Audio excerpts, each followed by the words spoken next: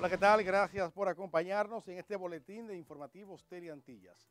El ministro de Industria, Comercio y MIPIMES, Víctor Ito Bisonó, dio positivo al coronavirus. Así lo informó el propio funcionario en su cuenta de Twitter, luego que anoche participara en la conformación de seis mesas de trabajo para tratar la crisis internacional de los precios.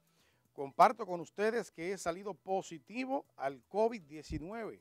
Ahora me tocó a mí, publicó Ito en su cuenta de Twitter.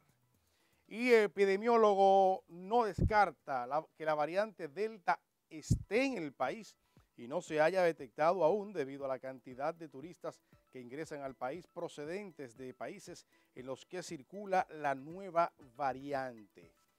Le invitamos a que nos siga a través de nuestras redes, arroba informativosTA, para que estemos siempre conectados.